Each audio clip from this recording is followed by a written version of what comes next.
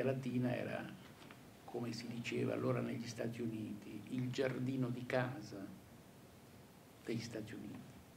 Si sfruttava fino in fondo tutto, tutti i beni che questi paesi avevano e li si sfruttava attraverso la instaurazione di dettature feroci in tutti i paesi dell'America Latina. È impensabile oggi ricordare che un giovane possa ricordare e immaginare quello che avveniva in Cile, in Argentina, in Brasile, in quegli anni, in Paraguay, in Perù, dittature militari feroci.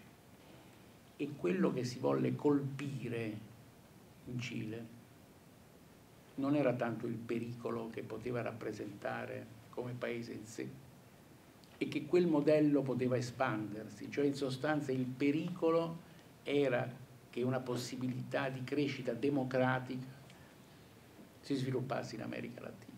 Questo era il vero pericolo, questa era la necessità di intervenire da parte degli Stati Uniti per molte di queste vittime non vi è stato mai un procedimento penale che possa accertare in modo chiaro e trasparente chi, a chi attribuire quei sequestri, a chi attribuire quelle torture, a chi attribuire poi la morte. È arrivato il momento della verità e di, di cercare di far prevalere quelli che sono, a mio avviso, i valori fondamentali di qualsiasi tipo di democrazia, e cioè il rispetto alla vita. È un processo che cercherà di dare risposte a molte delle morti e a, mor a molte delle persone che oggi chiedono ancora giustizia.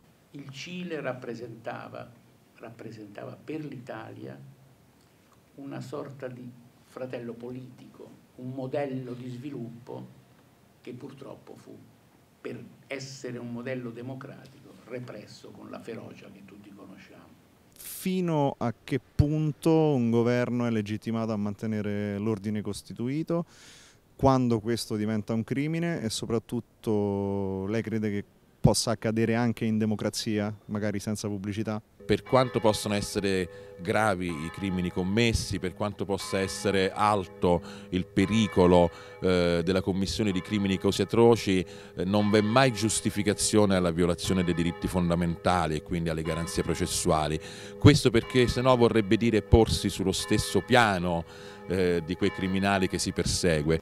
E un giornalista mi, ha chiesto l'altro giorno che cosa ne pensavo io di una polemica che era credo avvenuta a Roma sul fatto che lo Stato italiano, la Procura di Roma, spendesse questi soldi per un processo che ha un costo ovviamente come tutti i processi, per fatti appunto accaduti.